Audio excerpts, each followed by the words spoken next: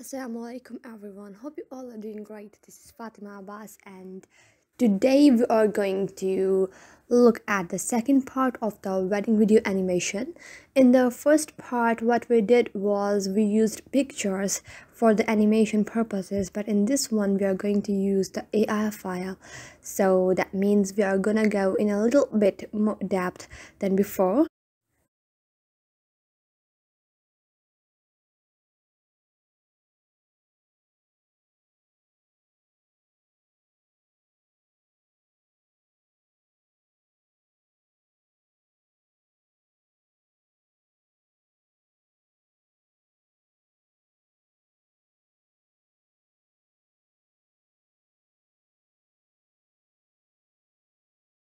So i have this file which is ready for animation. That means i have kept each part which i want to animate in a separate layer. So i'm simply gonna drag it into the adobe after effects. We are gonna keep the import kind as composition. I have renamed ready for animation as first and I'm gonna double click on it and here you can see I have five different layers. I am gonna lock every other layer except the one which I want to work on. And first we are gonna work on these circles or flowers. If you want to focus on one single element and don't want to get distracted with other stuff, then just simply click here and you will see it like this. As I have told you earlier that there are four types of things that you can do with your element that is you can change its position change its scale rotation and transparency and what we are going to do with this floor is we're going to rotate it and I have kept it in the background so it will give you this look that the picture is in constant motion. So select the layer, press R, click here and write time into 30 in the expression relation. And it will start rotating all by itself. So there are some things which you can do with the rotation. You can add a negative sign before 30 if you want to rotate it in the opposite direction. Uh, you can also rotate it slower or faster by changing the value that is 30 to some other value. So what we are going to do is we are going to copy paste it multiple times and uh, we will change its size that is its scale and I will paste it uh, all over the page. Sorry for the background noises I can't help it. So where are we? So I can uh, I will place it all over the page. Copy paste simply select the layer and uh, click ctrl C then ctrl V. To change the scale press S and the scale property will appear. You can decrease or increase it down. So now I'm gonna fast forward it and um, I will um, set different speeds and uh, different directions for circles uh, just like this. So here um, I'm gonna change its uh, direction. Simply add a negative sign and oh, oh, like this. Negative 10 and you see now it's uh, rotating in the opposite direction.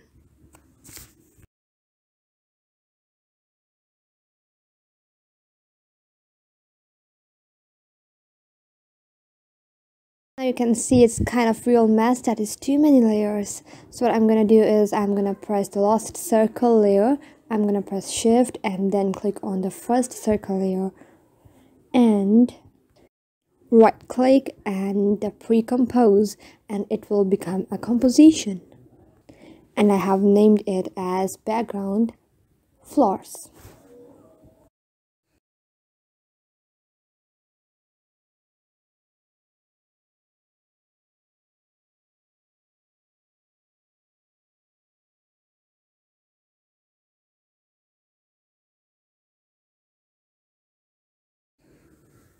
Isn't it looking pretty?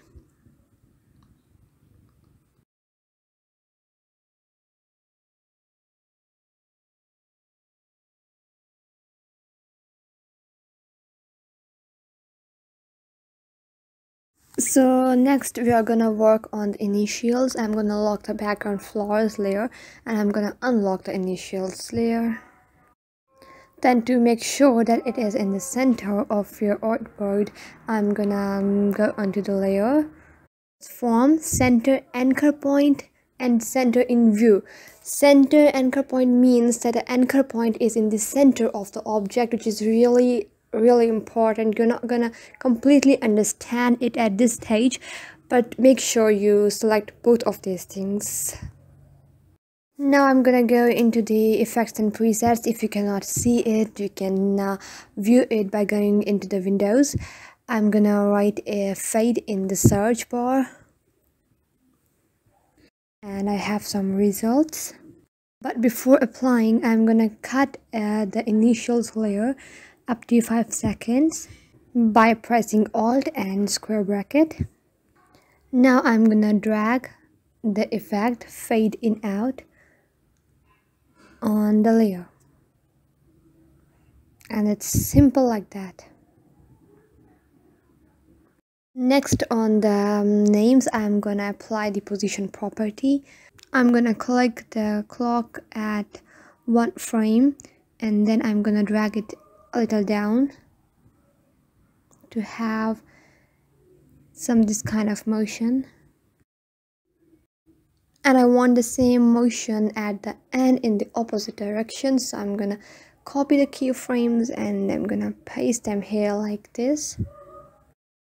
And don't forget to easy ease all of the keyframes to have a smooth transition. So now I'm gonna change its opacity from 0 to 100 at the start and 100 to 0 in the end.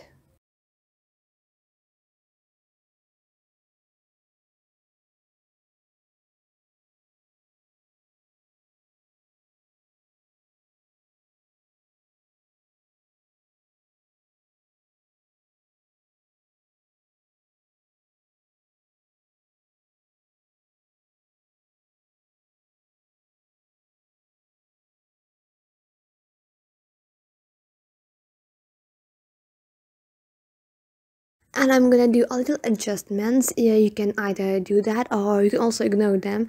Um, all up to you.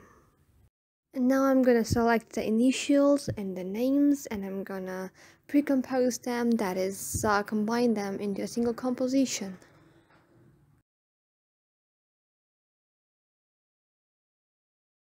I'm gonna apply the same fade in fade out effect to the 0 to 1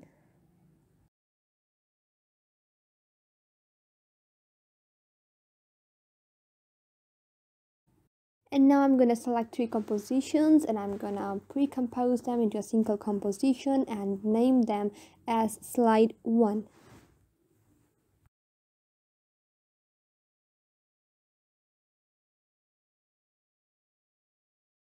so here we go we have one mistake and that is I want the background flowers to be at the background all the way up to end but you can see here that it's stopping at uh, five seconds. So what i'm gonna do is i'm gonna go into the slide one composition and i'm gonna select this background flowers and i'm gonna delete it from there and i'm gonna paste it in my main project below the slide one layer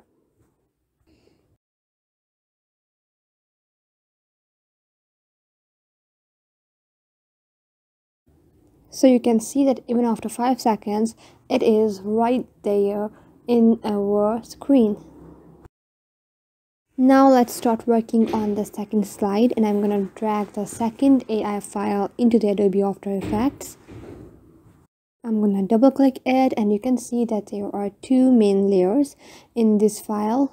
The one is groom and the second one is Essen that is the groom's name before we start with it let's rename our main um, composition as main instead of first.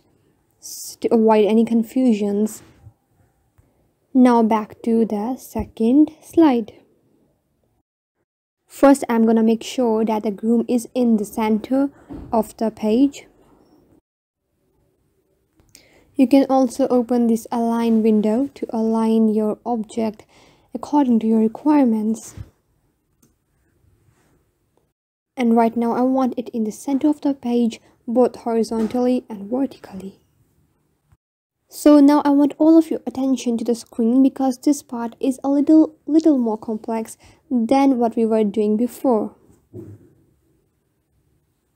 So I'm gonna select the groom layer and right at one second I'm gonna cut it so that you cannot see it before the one second. Now select the layer accent, press P and uh, right at zero seconds I'm gonna um, add a keyframe and then at five seconds I'm gonna drag it up to here.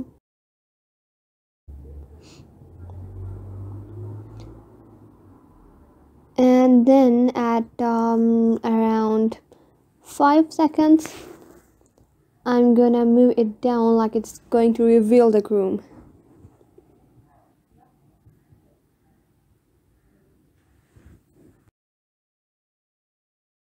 Then select a layer, new and shape layer and drag it below the accent layer.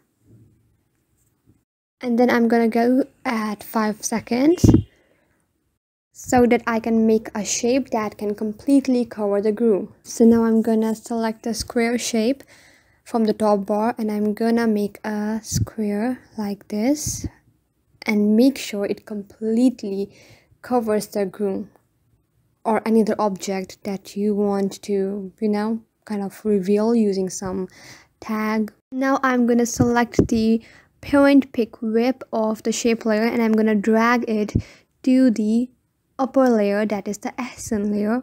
What this will do is it will make the shape layer a child of the accent layer. That is it will do the exactly same thing which accent is doing. Next i'm gonna select the groom layer.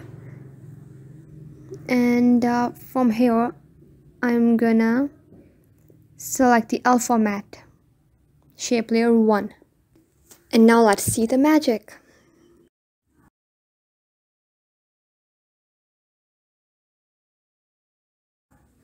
Next, to add a little more motion to your screen, what I'm gonna do is I'm gonna add the wiggle rotation effect to the groom layer.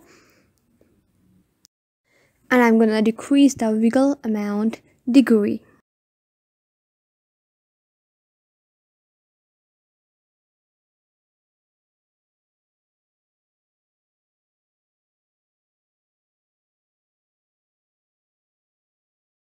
Now I'm gonna select all of these layers and I'm gonna right click, pre-compose and I'm gonna name it as slide 2. And I'm gonna cut it at around 6 seconds. And then I'm gonna go into the main project and I'm gonna drag this slide 2 above the slide 1 and I'm gonna position it like this so that it appears after the slide 1 and then I'm gonna cut the extra part.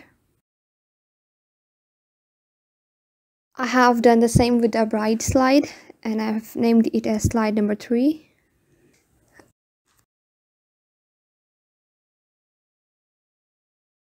And I have also added the fade in out effect to both of the slide 2 and slide 3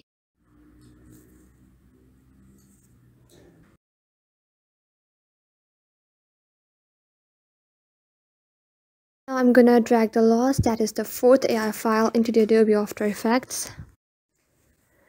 And first, let's work with the copper layer. And I'm gonna cut all the other layers up to 5 seconds.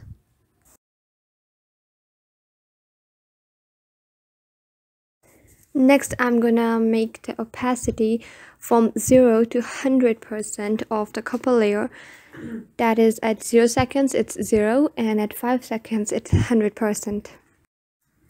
Next for the top rope I'm gonna position it so that at 10 seconds it um, comes where it is right now and at 0 seconds I'm gonna drag it all the way up out of the screen.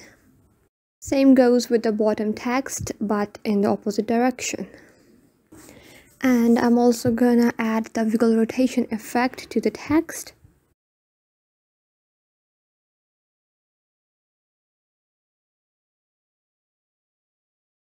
And now comes the fairy lights. Now what I'm gonna do is I'm gonna um, transition the opacity from 0 to 100 and then from 100 to 0 and then again from 0 to 100 and 100 to 0 and then I'm gonna write loop out in the expression so that it will continue till the end of the video.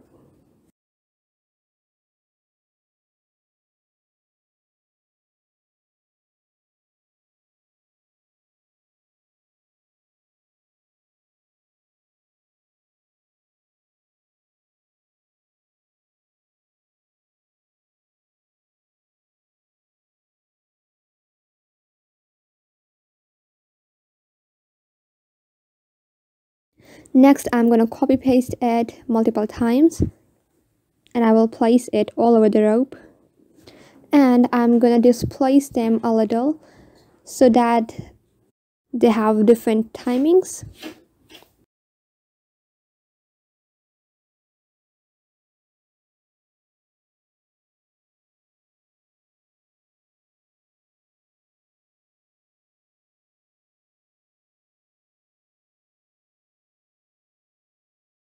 And then again I'm gonna select all of them and I'm gonna pre-compose them into a single composition and I will name them as slide number four.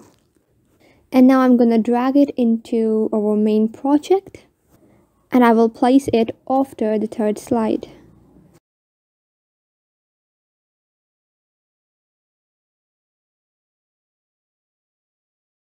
Now comes the final step. Select the composition, that is the main composition, and then go to composition, add to render queue. Keep the settings the same and click on render. And here we go. The video that you are looking at is basically designed for mobile screen, so its dimensions are set according to that.